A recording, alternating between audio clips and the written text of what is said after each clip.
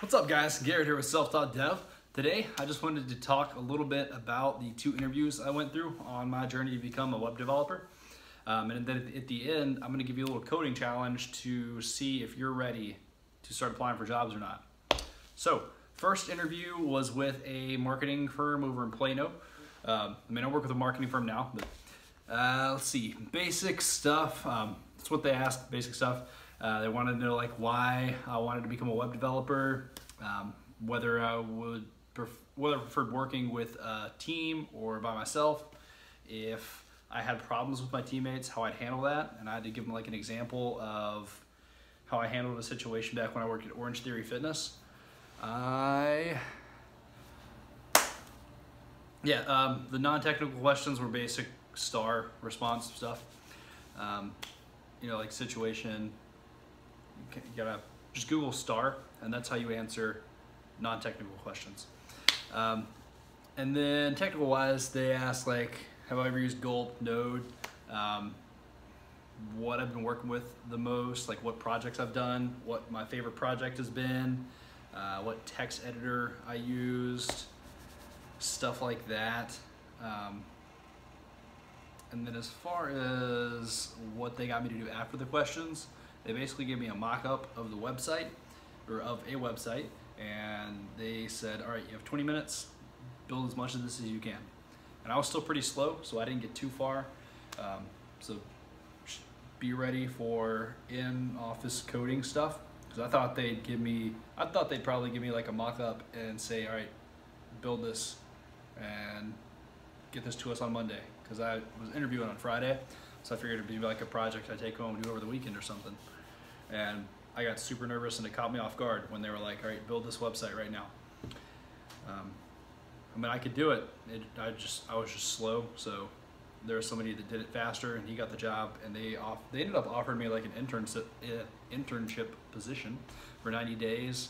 Um, the pay was like lower than I could manage because I had a place that I was paying like 650 for rent. And if I moved and took that job or internship, I'd have to start paying like a grand for rent. And rent increase plus pay stepping like stepping down in the pay couldn't really make that work. Um, but the second interview my current company they also wanted to know like why I wanted to get into web development and how I got started in it. And then they asked um, couple basic questions like the other people do. And then as far as technical questions, they wanted to know, they said like, all right, what are the different values you can use for position? Like fixed, relative, absolute. Um, that's all I came up with. And then there's static, which is like the default value.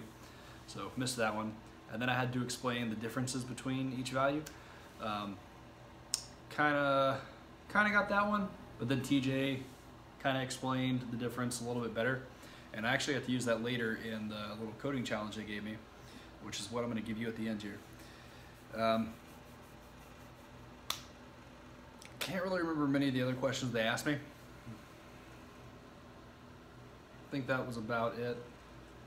But the coding challenge, which I'm going to give to you and I want you to do, and this is a way to find out if you're ready to start applying for jobs or not. Um, you also have to have built like a portfolio of projects too. But they said build a button that you click on and it'll alert your name to the screen. So basically just a button element and you click on it and with JavaScript you make it alert your name. Then I had to uh, basically make the back make the background blue, which is really easy. Wrap it in a div, then give the div a height of like 300 and make the div's background red, so it's different from the button. Then I had to uh, give the button like 10% or uh, 10 pixel padding all around. Make the borders round. Um, give it five pixels of margin all, margin all around.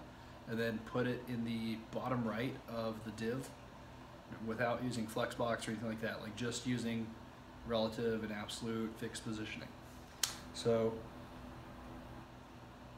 ah, excuse me. I want you to open up CodePen and rewind the video a little bit and do that button challenge. I think I've, oh. oh, I ah! Ah! Ah, I just got done cooking food, and there's like pepper in the air. It's making me sneeze. But yeah, open up CodePen, rewind the video, do that button challenge, and then post the link to your CodePen in the description, and I'll go check it out for you, make sure it looks good.